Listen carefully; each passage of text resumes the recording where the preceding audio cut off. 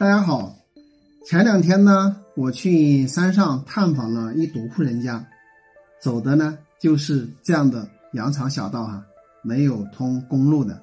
那么我们整个呢翻越了两座山，可以看到这一座荒山上呢全部都是荒废的。我们是要走这样的峡谷羊肠小道，然后呢再转到这些山脉上，再绕到山顶呢，就到那户人家的位置啊。很多朋友呢，让我跟他在我们贵州大山里面找这种能够种植、养殖的地方。今天算是找到了一个非常合适的地方啊！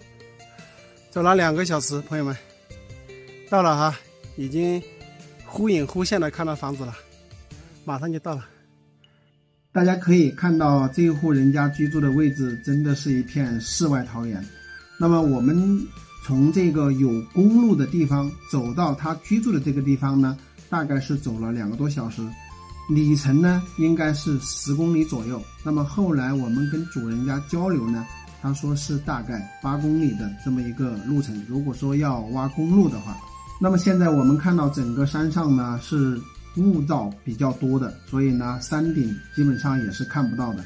那么我预测整个山上呢应该是有一两万亩的。这么一片荒山是无人烟的，那这个呢就是住在这里的这一户人家居住的房子，他们呢是两夫妻住在这里啊，总的养呢有二十只牛，大概呢四五十只羊，就两个人在这里出一趟山呢是非常不方便的，那么整一座大山呢就非常吻合大家说的搞养殖。不管你是养跑山猪啊、养牛啊、养羊啊，都是非常绝佳的一个条件啊。因为再往这个山顶延伸过去呢，可能十几公里都是没有人烟的。但是这个地方的最大问题呢，就是公路不通，可能需要修八公里的路。这个呢是一个巨大的一个投入啊。如果说朋友们有兴趣呢，大家可以自己到这里来看一下。我觉得搞养殖呢，这个地方是最合适不过了。